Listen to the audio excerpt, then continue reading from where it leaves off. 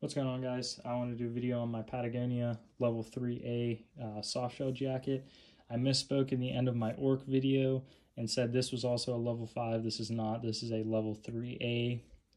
So starting out on the inside of the jacket, you have your Patagonia tag with all your information uh, stating that it's a level 3 puff jacket.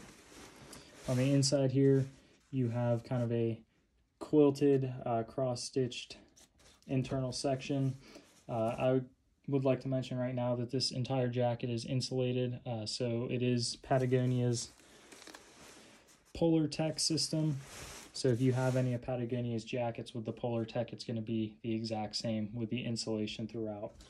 At the bottom here, you have pretty much the industry standard waist adjusters with the elastic and the uh, little quick release clamp.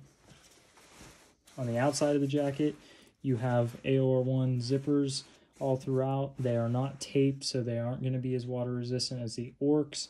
Uh, with a Hypalon pull tab on these, same material with the Crye JPC shoulder uh, shoulder straps. If you're familiar with that, with pretty large pockets, uh, you can definitely fit a hand with a mitten or a, a big uh, winter glove in here for sure.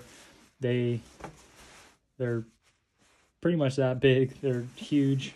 Uh, you have one on each side of the jacket. As you can see here, it's kind of hard to tell because this entire thing is AOR 1. Uh, and then you have a breast pocket, same pull tab on the zipper.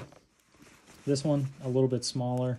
I tend to put my phone and a notebook in this one.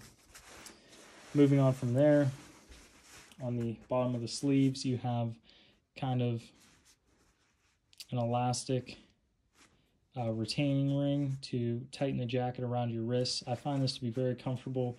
I wasn't a huge fan of these until I really started to wear this jacket, and I find this to be very comfortable compared to like your Velcro uh, cinch down ones like on the Orc. Uh, they're both fine. It really doesn't matter, but these ones are pretty comfortable for what they are.